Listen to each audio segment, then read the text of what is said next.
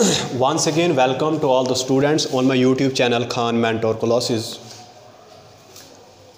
dear students and my dear aspirants आज हमारा जो टॉपिक है वो प्रॉब्लम ऑन परसेंटेज है, क्योंकि आप जानते हैं कि कोई भी जो कॉम्पिटिटिव एग्ज़ाम है, वो J K S S B का है या कोई भी कॉम्पिटिटिव एग्ज़ाम है, उसमें जो बेसिक नमरेसी में बेसिक नमरेसी में जो आपके पास परसेंटेज भी एक इंपॉर्टेंट प्लेस एक्ोपाई करता है, इसलिए आज हम आपको परसेंटेज के बारे में कुछ इंट्रोडक्शन देंगे और इंट्रोडक्शन देने के बाद हम परसेंटेज पे प्रॉब्लम्स भी सॉल्व करेंगे ताकि आप परसेंटेज का पूरा कॉन्सेप्ट आपको मिल जाए।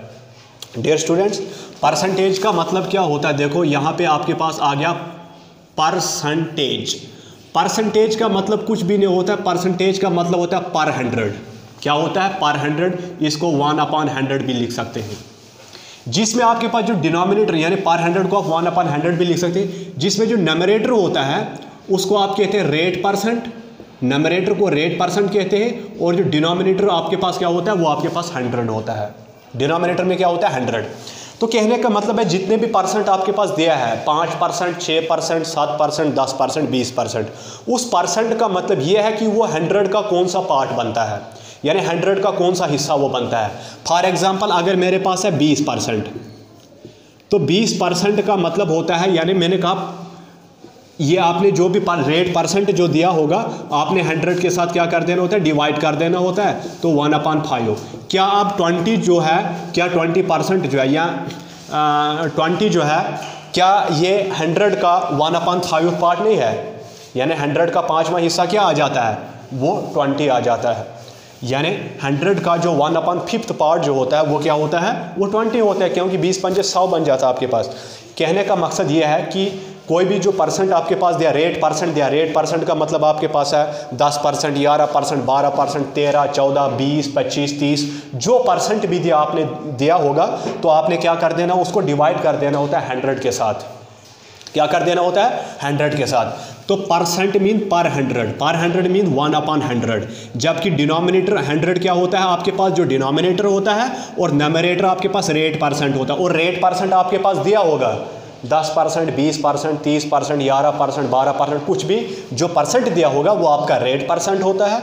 और रेट परसेंट को आप क्या करते हैं? रेट परसेंट को आप क्या करते हैं? रेट परसेंट को आप डिवाइड करते हैं हंड्रेड के साथ। तो इसका मतलब है डिनोमिनेटर में आपके पास हंड्रेड होता है और नमरेटर में आपके पास रेट परसेंट है। अगर आपको दिया होगा कि थर्टीन परसेंट तो थर्टीन परसेंट का मतलब आ गया थर्टीन अपॉन हंड्रेड अगर आपको दिया फोर्टीन परसेंट तो फोर्टीन परसेंट का मतलब आ गया फोर्टीन अपॉन हंड्रेड यानी जो भी रेट परसेंट होगा, उसको आपने डिवाइड कर देना है हंड्रेड के साथ.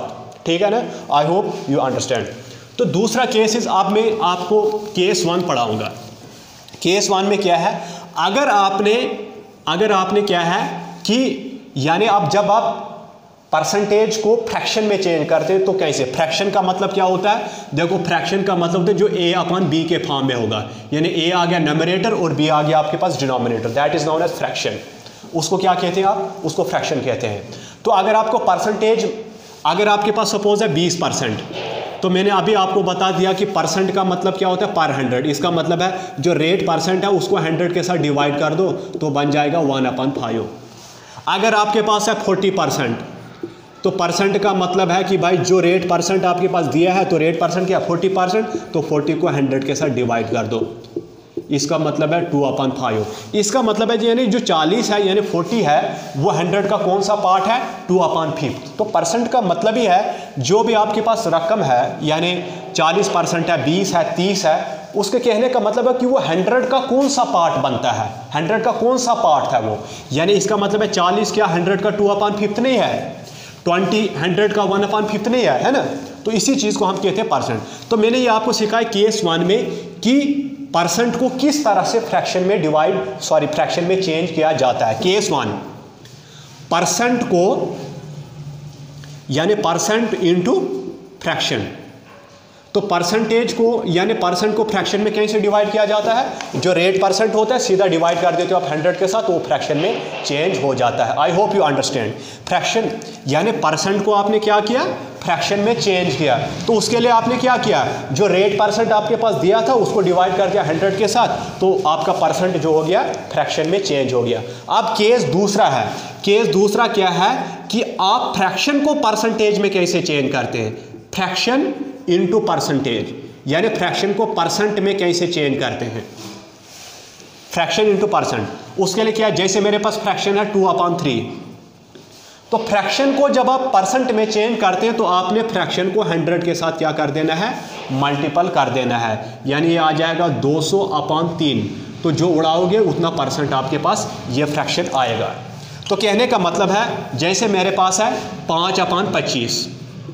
ये एक फ्रैक्शन है। तो आपको बताएगा कि पाँच अपान पच्चीस जो आपके पास फ्रैक्शन है, आप इसको परसेंटेज में कन्वर्ट करो। तो आपको पता है कि हमें यह बताया गया फ्रैक्शन को परसेंटेज में कन्वर्ट करने के लिए फ्रैक्शन को क्या कर देना होता है? हंड्रेड के साथ मल्टीपल कर देना होता है। अब क्या हो गया? एक पच्चीस, अब पच्चीस पच्चीस चौके कितना हो गया? सौ।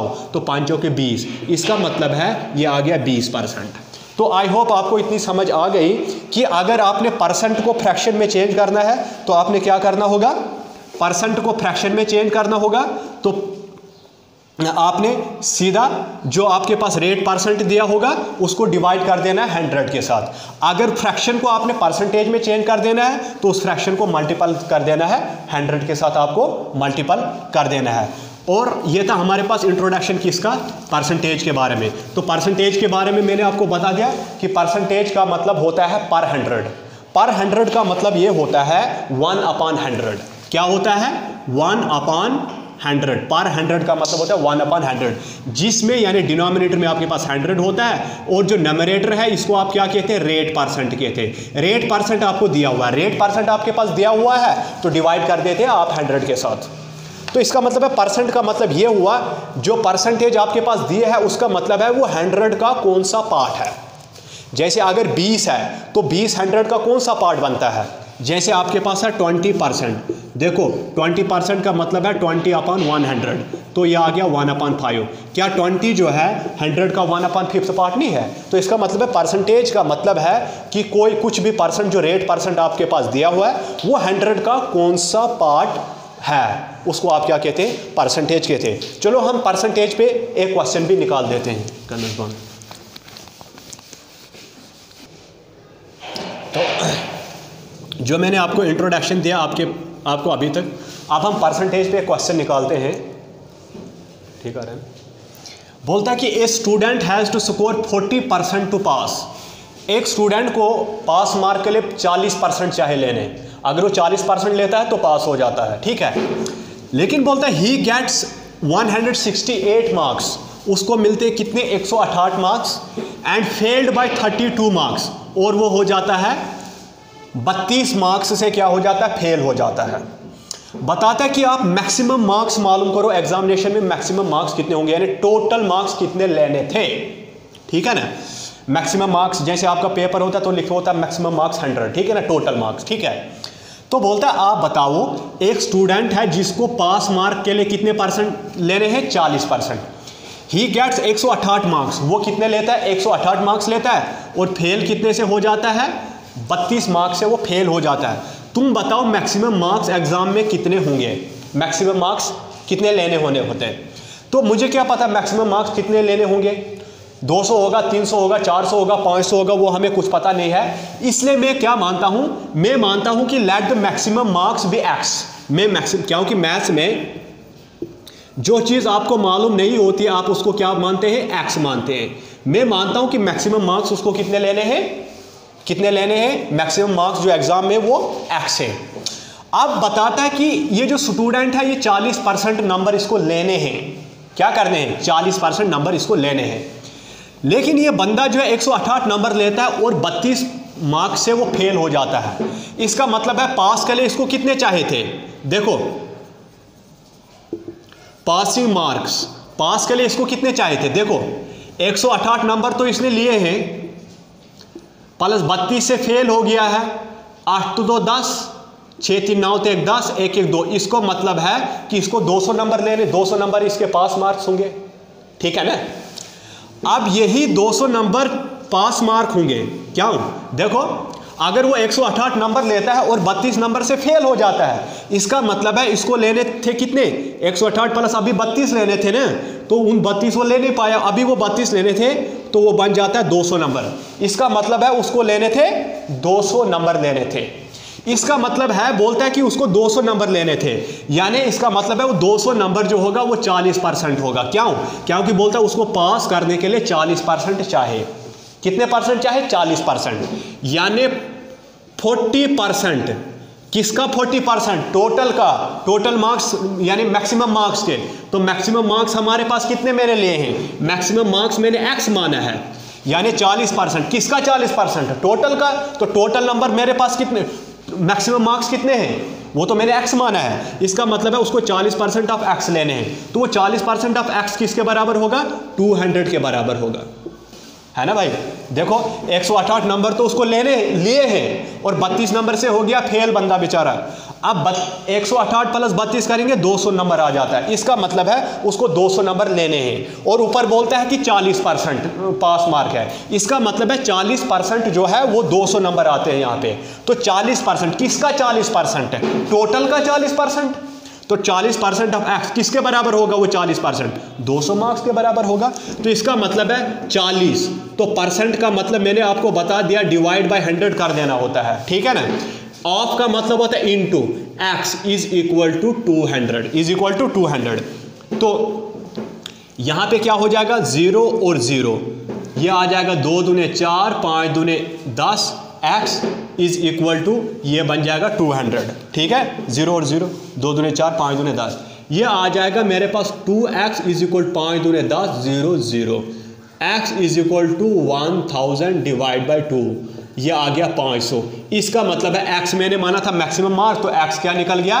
500 इसका मतलब है उस बंदे को, यानी टोटल यानी मैक्सिमम मार्क्स कितने थे एग्ज़ाम में? 500 नंबर टोटल थे। तो मैक्सिमम मार्क्स कितने आ गए? 500 देखो क्वेश्चन बताता था कि भाई उसको 168 नंबर लेने, लिए हैं उसने। तो 32 नंबर से फेल हो गया। इसका मतलब अभी उसको और 32 नंबर लेने थे 168 के अलावा। तो वो बन जाता है 200 बन जाता है 200 ये आ गया उसके 200 नंबर गोया कि पास मार्क कितने हैं? 200 नंबर। और ऊपर क्वेश्चन में बताता है कि पास मार्क उसका जो है 40 परसेंट, उधर परसेंटेज में दिया है। इसका मतलब है जो टोटल नंबर लेने हैं, उसमें उसको 40 परसेंट लेने हैं। जो टोटल नंबर हैं, उसमें 40 परसेंट पास मार्क हैं। तो 40 परसेंट ऑफ़ टोटल टोटल कितना एक्स तो टोटल का 40 परसेंट किसके बराबर है? उसके 200 नंबर। तो यहीं से एक्स आपने निकालना है तो आ जाएगा आपके पास 500 तो यह था हमारे पास परसेंटेज का पार्ट फ़र्स्ट आई होप आपको परसेंटेज का जो बेसिक कंसेप्ट मैंने आपको बताया, वो अंडरस्टैंड हो गया। हम दूसरे पार्ट में भी परसेंटेज के काफ़ी जो न्यूमेरिकल्स सॉल्व करेंगे। अगर आप कंटिन्यू रहेंगे तो आई होप आपको पूरा समझ आ जाएगा और आप परसेंटेज के बेस पे कोई भी जो प्रॉब्लम्स होंगी you can easily solve those problems but the main fact is that you have to be connected with us so that you can solve the problem on the basic numeracy चाहे वो average के question हो चाहे वो percentage के question हो या किसी भी मैथ्स के कोई किसी भी एक्सरसाइज के क्वेश्चन हो आई होप आप इजली कर सकते हैं। लेकिन आ, अगर आपको हमारा लेक्चर पसंद आता है तो मेहरबानी करके आप मेरे YouTube channel Khan mentor classes को सब्सक्राइब कीजिएगा। अगर आप मेरे साथ कनेक्ट रहते हैं आप मेरा लेक्चर देखते हैं तो घबराएगा नहीं। अगर आपको एक जो है आज समझ नहीं आई तो मैं दूसरे दूसरे लेक्चर में समझाने की कोशिश करूँगा। क्योंकि घबराने की बात नहीं है पजल नहीं होना चाहिए। तो आप इजली कर सकते हैं, इसमें कोई बड़ी बात नहीं है। बोलते हैं, जो यकीन की राह पर चल पड़े, उन्हें मंजिलों ने पना दी, जिन्हें वसवसों ने डरा दिया, वो कदम कदम पे बहक गए। इसलिए बहकना नहीं है, आपने हमारे साथ रहना है और हम पूरा कोशिश करेंगे कि आपको हम अच्छा कंटेंट प्रोवाइड करेंगे। अगर आपको मेरा लेक्चर पसंद आता है तो मेहरबानी करके मेरा चैनल सब्सक्राइब कीजिएगा और शेयर कीजिएगा। Thank you very much